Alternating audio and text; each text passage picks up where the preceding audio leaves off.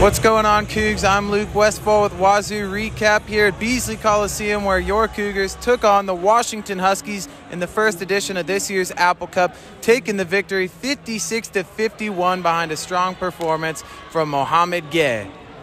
The Cougar men's team was looking to bounce back from a pair of losses last week to USC and to UCLA on the road, including a blowout loss to the Bruins last Saturday.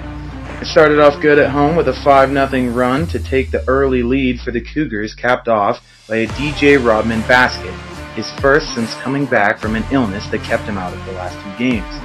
After the Huskies narrowed the lead at 12 to 11, it was a electric fast break capped off by Mouhamed Gueye on a hot potato-like play that made it 15 to 11 after an and one free throw. Later, it was TJ Bamba who would intercept a pass and take it all the way himself for a fast break slam to make it 20 to 15 Cougars. Later, the lead was 20 to 20, but the Cougars would finish the half on an 11-2 run to take a 31 to 22 lead into the halftime break.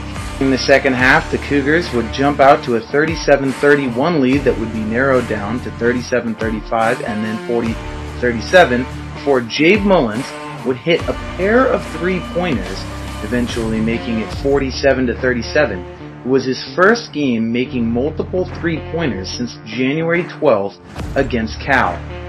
Mullins, of course, is the former three-point percentage leader in the Pac-12 and was on a tough stretch, having only made four of his last 25 coming into this game since January 12th. Later in the game, towards the end of the second half, the Cougars led 51 to 47 after not scoring for nearly five minutes and eventually icing the game on free throws and with some good defense despite star guard Justin Powell fouling out with 38 seconds left to go in the game and the Cougars would finish it off 56 to 51.